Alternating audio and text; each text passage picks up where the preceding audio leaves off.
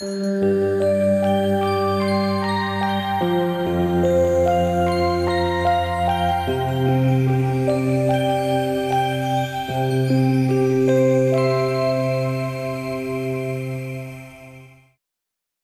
caisele acelea se culegeau cu mâna din copac, nu te duceai la piață, ele nu trebuiau să se atingă unele de altele. Atunci când încă nu erau foarte coapte, dar nici crude, uh, se uh, opărea ușor, ușor și se scotea pielița, se ținea în apă de var, după aceea se scotea pentru că era uh, cât să trebuie să se întărească, se spărgea sâmburele, sâmburele se spărgea cu grijă ca să iasă întreg, după aceea și sâmburile erau opărit cu apă clocotită, se scotea pielița și rămânea partea ca o migdală.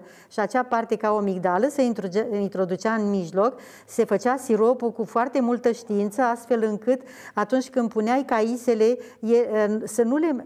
Deci în loc să mesești cu lingura, mișcai numai cratița ca să nu se prindă și cu grijă când ajungeau la o anumită temperatură, luai cu un, un anumit fel de, să spunem așa, de uh, lingură, pentru că această dulceață este una care cere foarte multă răbdare din partea gospodinei și atenție la toate aceste momente din... Uh, am făcut lucrul ăsta, dar nu știu dacă ați mâncat vreodată um, dulceață de pere busuioace. E, doamnă! Asta de caise este cum este, dar uh, dulceața de pere busuioace, nici nu știu dacă mai există în Moldova copaci, peri, Există? E, dacă mi-aduce cineva pere busuiace, îi fac dulceață la anul. Da. Deci fiecare pară, fiecare pară de, tăiată mijloc, perele sunt mici, așa, mici, mici, așa, tăiată în două, curățat mijlocul, până curățată cu grijă și seamănă cu niște mandoline. Și tot așa, e așa de parfumată. Când se spune busuioace, aflați că au un parfum nici nu-ți dai seama cât de grozavă este dulceața de pere busuioace. Așa e că voi o poftă de o linguriță de dulceață de casă din Chesea, alături de un pahar brumat cu apă rece, cum frumos scrie în casa bunicilor sau la Medeleni, al nostru Ionel Todoreanu, fratele bunului păstorel. Doamna profesoară Ana Ciornei a predat vreo 40 de ani franceză la un prestigios liceu din Iași și a predat și bunul gust și buna purtare, ceva moștenit din familie, odată cu dulapul de cărți, fotografii și documente. Dulapul fermecat și valizele uitate în pod au fost deschise după decenii, cam poveste. Astfel a venit vremea acum să spună povestea rudei sale Cecilia Simionescu Zapan, doamna de la Iași, fica profesorului Simionescu. Ea este cunoscută de toată suflarea românească sub pseudonimul Sanda Marin, în toate bucătăriile noastre de bloc era o carte Sandamarin, în toate sertarele și toate cotloanele. Generații întregi au avut drept ghid în bucătărie cartea de bucate a Sandei Marin, cu tot cu legendele generate de misterul ubicuității sale, că Sandamarin e numele unui bărbat de fapt, sau că Sandamarinul, într-un singur cuvânt, e o stensilă de bucătărie, vorba lui Pleșu. Povestea ieșeană a Sandamarinului, adică marea opera a Ceciliei Simeonescu Zapan, astăzi la ea și Marilor Iubiri. Să vorbim mai mult despre Cecilia Maria Simionescu Zapan. I-am dat toate numele de la naștere până în momentul căsătoriei. Da. Dar, până să, dar până să ajungem la Cecilia Simionescu, să spunem că, de fapt, am uh, expoziția uh, care este suportul acestei discuții și care se intitulează Istorie și gastronomie de la Cogălnicianu la Sanda Marin, uh, se înscrie în sfera unor preocupări mai vechi ale noastre, datorită faptului că Mihail Cogălnicianu, între alte multe întreprinderi, a fost un deschizător de drumuri și în arta culinară. Dacă este să ne gândim că el împreună cu uh, prietenul lui, Costache Negruții, au scris și au tipărit o carte de bucate, prima din istoria principatelor, pe la 1841 și pentru că nu se făcea, potrivit mentalității veacului, uh, care să, ca doi Uh, asemenea bărbați cu preocupări în domeniul uh, uh, cultural, politic, și nu se făcea să aibă și preocupări în domeniul gastronomiei. Dar se pare că acești talentați oameni politici și scriitori au scăpat de complexe și au scris această carte pe care inițial au lăsat-o sub protecția unui anonimat, semnând-o doar cu inițialele. Uh, Cogălnicianu revine foarte repede și scrie în Iluzii pierdute, imediat după apariția cărții și cumva resimte totuși nevoia unei explicații și spune că de curând, împreună cu amicul meu, ca N, nu-i uh, dă numele, am terminat de curând o carte uh, de bucate care conține vreo 200 de rețete Uh, despre modul uh, cum se face, cum se fac, uh, despre chiupul cum se fac frigănele în Moldova. Și povestește el despre carte cum că va produce o mare revoluțiune între bucătărițe, dar și noi ne vom mulțumi ca viitorimea să ne numească introducătorii artei culinare în Moldova, ceea ce se pare că s-a și întâmplat. Imediat ce a plecat la studii în Uh, Franța și apoi în uh, Germania. Uh, prima, printre primele lui probleme pe care a vrut să le rezolve, în afară de a scrie istoria românilor, da, a fost și aceea de a arăta lumii de acolo că și în Moldova se fac lucruri bune și cerea în scrisorile adresate surorilor sale rețetele de dulcețuri. Da? Deci asta a fost probabil prima manifestare a interesului lui pentru aceste lucruri. Cecilia Simionescu s-a născut la Iași în decembrie 1900, în familia cărturarului Ion Simionescu, marele naturalist, paleontolog și geograf.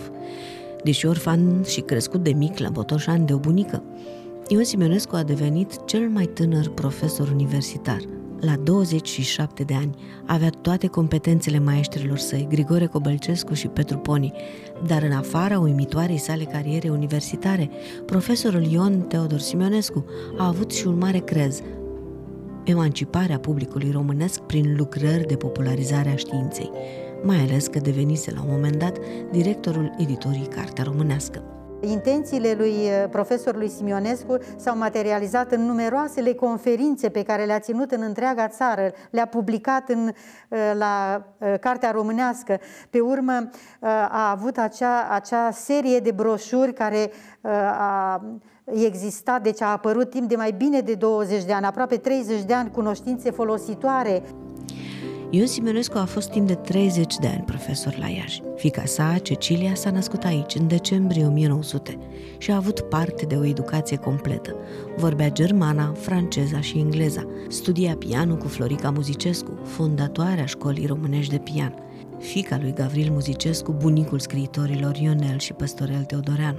Florica Muzicescu a fost de asemenea maestra lui Dinu Lipati, Radu Lupu și Dan Grigore. Părinții lor au fost printre primii intelectuali ai satelor, cei care au ridicat. Uh, Simionescu este a doua generație, dar generația părinților săi erau cei care au, au fost primii învățători ai satelor, preoții, toți cei care au format această pătură, care au pus bazele culturii acesteia uh, necesare poporului pentru a se emancipa, a se propăși, cum spunea Cogălnicianu. Cartea lui Cogălnicianu apare cu șapte ani înainte de mm, Revoluția de la 1848, care a zguduit puternic Europa. Și totuși el atunci venind cu și ei, bonjuriștii, cu toată perspectiva asta pe care o aduc din Europa Occidentală și vedeți că au resimțit. Nu? Da. Deci ceea ce satirizează Alexandrie este de fapt nevoia protipendadei de a schimba totuși ceva. Că era la modă, că le era necesar, dar resimțeau nevoia de schimbare, ceea ce era foarte important. Aceste două cărți de bucate, la distanță de 100 de ani, au avut amândouă același rol uh, civilizator, același rol de a educa. La Cogălnician odată, că era moda asta din Europa, care se manifestă și în domeniul gastronomic, la Cecilia Simionescu, că după crahul newyorkez, după ce lumea iese din uh, bolmojeala războiului și a crizei economice, vine descătușarea anilor 30, care în România uh, se suprapune și cu constituirea unei clase de mijloc, mai ales după reforma agrară de la care se fac 100 de ani. Și atunci această clasă de mijloc are nevoie nu doar de negustori, nu doar de meșteșugare, are nevoie de artiști, de locante, de loazir, de timp liber. Era foarte important ca femeia să, să aibă calitățile unei anfitrioane. Ca să devină o anfitrioană trebuie să fie o foarte bună cunoscătoare a tot ce însemna gospodăria, da? Nu întâmplător uh, uh, um, se creează acele școli de menaj Da? Pentru că și, și Cecilia Semionescu a urmat o astfel de școală de menaj trimisă de tatăl său să învețe arta gospodăriei și a, eu știu, menajului, da? la Dresda. E, poate nu, nu multă lume știe, însă Uh, citindu-l pe Nicolae Iorga, am văzut că și în timpul ministeriatului său a avut o atenție deosebită pentru crearea acestor școli în care femeile să învețe adevărata artă a menajului și a introducerii tot ce înseamnă nou în gastronomie și în prelucrarea uh, uh, materiilor prime, ingredientelor de care noi dispunem. Cartea Uh, Ceciliei Simionescu și-a atins, uh, și-a atins scopul. Ea a reușit să insufle nu doar pasiunea uh, pentru gătit, că poate pe asta nu putem spune că toată lumea are o pasiune, că toate femeile au o pasiune, dar cel puțin s-au educat, s-au învățat și au înțeles că rostul femeii este acela de a aduna la un loc familia. Cred că asta, de fapt, e mesajul pe care au vrut să-l transmită. Și asta pentru a avea un popor sănătos, pentru că ea și tatăl ei au avut credința aceasta că pentru, pentru a progresa, ă, educația trebuie să aibă niște fundamente solide care să plece de acolo, adică și oamenii aceștia ă, din pătura de mijloc trebuie să, să se educe ca în felul acesta să înțeleagă și societatea să se așeze cu rost. Din copilărie, Cecilia a fost înconjurată de grijă și atenție. În casa lor de la Iași veneau în vizită zilnic scriitori, muzicieni, actori, pictori. Cecilia s-a căsătorit cu Mihai Zapan, doctor în chimie. La 36 de ani, în 1936, Cecilia Simionescu Zapan face saltul destinului său, publică opera vieții sale, Cartea de bucate, sub pseudonimul Sanda Marin. Era o femeie extrem de activă, uh, era pentru, repet, pentru anii 30 la care ne... Uh, și că uh, nu stătea, nu era foarte casnică, mergea la schi, conducea mașina, ba chiar îi plăcea la nebunie să facă lucrul ăsta, cânta la pian. Singura excentricitate, dacă e să o numim așa, a acestei Cecilia Marin era pasiunea asta nebună pentru bucătărie. Ea a înțeles foarte corect care era rolul femeii anfitrioanei, femeii intelectuale și a resimțit nevoia ca și pe tinerele, chiar cele din clasa de mijloc, să le ofere o, uh, să spunem, un suport, un instrument, un instrument prin care ele să înțeleagă rostul femeii în familie. Și a făcut asta datorită educației pe care a primit-o de la părintele său, profesorul marele, profesor academician, profesor universitar Ion Simionescu, pentru că el a venit din clasa de mijloc, cu o situație de familie mai uh, uh, grea, să spunem, rămas orfan, crescut de bunica maternă la Botoșani, coleg de școală cu Iorga, pe care îl invidia adesea pentru că atunci când mergea la școală avea căinuțele îngrijite față de el pe care îl creștea bunica cu posibilități mai reduse și atunci el, în toată viața lui, a, a făcut uh, toate mobilurile activităților sale, ne referim la cele culturale de data asta, nu la cele științifice, au fost animate, așa să spunem, de spiritul ăsta iluminist, acela care uh, îți confer sau care, de la care pleacă credința că masele educate și cultura este, uh, să spunem așa, cea care asigură progresul unei națiuni. Și pe tot parcursul a dezvoltat preocupări și nu doar preocupări, ci a făcut act acțiuni concrete pentru a uh, cultiva o asemenea cultură a masei. Această carte de bucate la început are în jur de 1500 de rețete, însă se pare că ea adunase până să se hotărască să editeze cartea în jur de 10.000 de rețete. Și pentru că istoria are umor și ironie, azi ne dăm seama că Sanda Marin, cu cartea sa de bucate, vine la exact 100 de ani după cartea lui Cogălnicianu cu cele 200 de rețete cercate. Practic, ei când au venit cu aceste cărți de bucate, au rezolvat problema aceasta. Ce mâncăm astăzi, cum pregătim, uh, cât uh, ce așezăm pe masă și uh, multe dintre gospodine, cel puțin după ce a apărut uh, Sanda Marinu, cum, cum a rămas și cum spunea foarte interesant Andrei Pleșu, că el multă vreme a crezut că acest Sanda Marin e o ustensilă, de fapt, de bucătărie. În acest singur cuvânt, de fapt, încăpea doar un mic univers, așa, o ustensilă ceva. E, iată că pe urmă, când descoperi că, de fapt, a rămas până astăzi, eu am una dintre variante, una dintre cărți, care e mult subțiată. Eu m-am folosit de asta din 1940, de asta când uh, era într-o stare așa mai, cum să vă spun eu, mai de plâns, pentru că a fost folosită foarte mult, ca și alte cărți de aici, aici am mai multe cărți în expoziție, cărți în limba franceză, chiar din secolul XIX, am o enciclopedie a gastronomiei franceze. Se vede în timp, așa știți cum, cum rețetele se subțiază, se înlocuiește cu cutare, cu cutare, cu cutare și ajungem pe la 1980 și spre 9 um, că singurul lucru pe care îl mai puteam face în casă, bine, era turta dulce dintr-un ou. Și dacă o să mă audă cineva spunând asta, o să fie și colegi, foste colegi ale mele de școală de cancelare, care își aduc aminte cum toată lumea la un moment dat făcea turta dulce dintr-un nou, pentru că oul era foarte greu de găsit. Miere de albine mai găseai, da? Și se făcea și cu un de lemn, bineînțeles că se făcea cu un de lemn. Deci democratizarea aceasta a mers până acolo încât uh, până în punctul în care gospodinele n-au renunțat să inventeze, ci au găsit soluții pentru a face lucruri bune pentru copii, pentru familie, pentru invitați. Celebra prefață a ediției Princeps era semnată de Păstorel. O prefață ce s-a pierdut la următoarele reeditări. Păstorel vorbea atunci despre curajul, știința, și rafinamentul autoarei și despre necesitatea unei cărți de bucate care să organizeze bucătăria românească și gusturile românilor.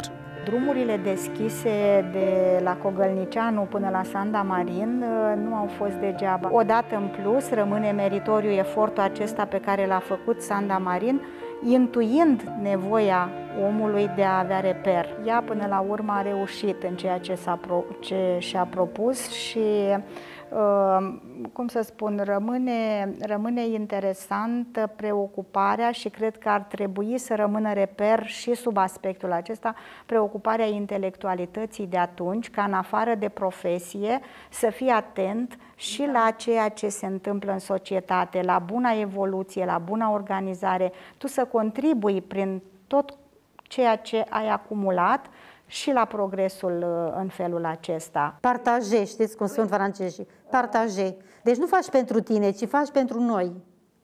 Gândiți-vă că da. saloane ca acesta în care ne găsim era spațiul sociabilităților, era spațiul în care se manifestau forme de loazir. Femeia era cea care era răspunzătoare de toată atmosfera dintr-un astfel de salon, asta dacă e să ne să coborâm din nou în veacul al XIX-lea, când iată călătorii străini care au trecut prin uh, Principate au lăsat note de călătorie în care se sizau și descriau frumusețea femeilor din cele două capitale, de la Iași și de la București, uh, apoi uh, eleganța saloanelor și foarte important remarcau mulți dintre ei că în aceste saloane se vorbea franțuzește aproape ca la Paris. Asta ce înseamnă? Că femeile erau uh, foarte atente și foarte racordate, dacă putem forța așa, la spațiul european, preocupate să aducă modele occidentale și să le răspândească întâi aici pentru ca ele apoi să meargă mai departe, da, ele au făcut pasul către societate din aceste saloane. Dacă societatea nu era atât de permisivă, dacă societatea le punea limite, atunci ele, multe dintre ele au înțeles să aducă, să aducă societatea aici, să fie perfecte, gazda perfectă, că de fapt despre asta vorbim, asta e anfitrioana, nu neapărat, deci să știi cum să te comporți în așa fel încât omul să se simtă musafir, și asta e foarte mare lucru, cred, până în ziua de astăzi. Și atunci ele au făcut pasul spre societate, s-au emancipat, cum ne place astăzi să spunem, plecând de aici cu pași mici, dincolo de dincolo de prag și apoi dincolo de poartă și ajungând în stradă și iată, astăzi suntem, ele nu aveau atunci voie să aibă o profesie, astăzi avem profesii, ele nu făceau politică, astăzi facem. Și iată că ajungem să ne întrebăm bine și ce facem între timp cu pasiunile, cu rosturile, cu bucătăria, Le mai... cu... și vedeți că și de asta cred că le am mai resimțit. primenim, ca să spunem, Da. nu? Întorcându-ne în trecut, le primenim pe cele de astăzi. Cred că este necesară uh, o astfel de întoarcere, s-ar putea face.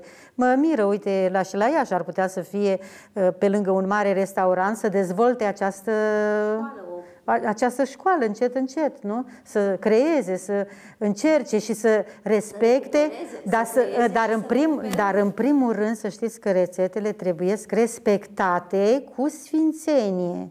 Dacă spune așa, așa a scris și nu pentru că ai învățat tu cofetar și ai, ți s-a spus de maestru tău să faci așa. Nu. Să știți că sunt prăjituri la care trebuie să freci zahărul cu gălbenușele timp de o oră. Și timp de o oră, da, nu poți să pot, nu, nu, pentru că în ora aceea are loc acolo o modificare chimică, da, o- în compoziția respectivă și aceea dă frăgezimea. Nu pui nimic de frăgezit, nu pui nimic, da, totul este acolo organizat după sistemul nemțesc. Deci ordinea, uh, chiar rețetele sunt foarte bine ordonate, cantitățile precise, nu mai este o lingură, un pahar, uh, o mână de, cum erau în rețetele dinainte. Poate de asta cartea a avut și asemenea succes, pentru că a putut să fie citită chiar și de persoanele cu mai puțină educație și să dăinuie până în ziua de astăzi și nu știu dacă este o carte care poate să o înlocuiască în raftul unei gospodine. Deci cam atât aș putea să spun deodată. Ia să vedem. Și, și oricum povestea coboară din nou uh, în secolul uh, al XIX-lea, acesta al înnoirilor și a reformelor în toată Europa și în toată lumea. Și trebuie să avem în vedere că în saloanele ca acesta în care ne găsim, femeia avea și în veacul al XIX-lea rolul de anfitrioană. Să ne gândim la condiția socială a femeii de atunci, care nu avea uh, un spațiu public de manifestare. Uh, Principalele ei îndatoriri erau, așa cum ați precizat, educarea copiilor și amenajarea locuinței, dar să nu ne imaginăm că le făcea uh, cum le facem noi astăzi. Ea pentru asta erau slujnicuțele care se ocupau să deretice, erau institutorii care aveau grijă de educația copiilor, dar ea trebuia să fie conectată la tot ce era spațiu european și să fie uh, și educația aleasă. Să știți că nu era simplu. Cu cât, uh, să spunem așa, femeia reușea, anfitrioana, boieroaica reușea, cu atât prestigiul social al soțului era întreținut și soțul era mai bine pus în valoare ca rang Și social. vreau să spun că partea aceasta s-a transmis și în secolul 20. Doamnele care au uh, constituit, să spunem, elita intelectuală între cele două războaie mondiale, au fost, uh, uh, proveneau din astfel de familii boierești, care unele din ele scăpătaseră în timp. Trebuie să precizăm că familiile înainte nu aveau 1-2 copii, ca acum aveau 7, 8, 9, 10, 12, 16, până la 16 copii am găsit între persoanele din familia noastră, ca, doamne care au născut 16 copii. Femeia era, uh, ca să spun așa, nu nu avea o viață foarte ușoară și cu toate astea, ca anfitrioană, trebuia să realizeze acea uh, uh, să, să, să creeze acel ambient în care nu numai familia să se simtă bine, ci relațiile familiei cu alte familii, acolo, acolo se țeseau. Acolo se țeseau toate lucrurile importante pentru o familie. O expoziție incitantă la Muzeul Mihail Cogălnicianu din Iași, Istorie și gastronomie, de la Cogălnicianu la Sanda Marin, cărți de bucate, aparate și ustensile de bucătărie din colecția doamnei Ana Ciornei. 1840-1940, un secol de emancipare a societății românești, pornind de la lingură și polonic. Thank you.